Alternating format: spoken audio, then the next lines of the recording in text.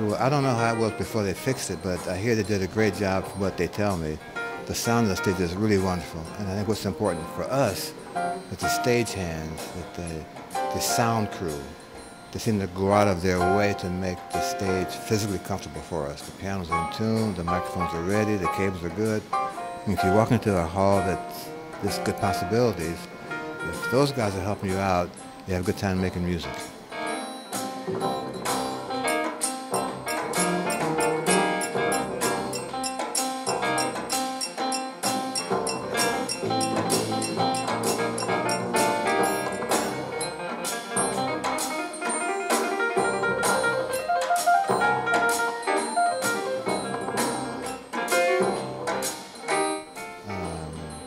Ella Fitzgerald, the singer who is no longer with us, and Ahmad Jamal is top of my list.